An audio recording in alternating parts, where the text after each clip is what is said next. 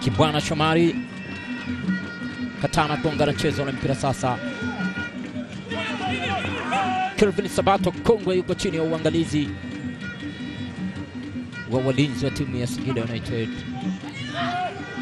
Donga anapeleka Dinunga kola go! Salum Kihimbwa anapigilia msumari katika lango la timu ya Singida United. Salum Kihimbwa, mchezaji wa zamani wa timu ya Polisi Morogoro. Mtibwa Sugar awali tuliwaambia ni timu ambayo mara nyingine huwa haitabiriki, na haswa inapokutana na timu kubwa ama timu zenye uwezo wa aina ya wachezaji na kuwaacha washabiki wa timu ya Singida United wakiwa hawaamini. Uh, kocha Hans pia akiwa anatafakari na kuona hadhara inayomkuta ndani ya ardhi ya uwanja wake. Ni bao la pili kwa upande wa timu ya Mtibwa.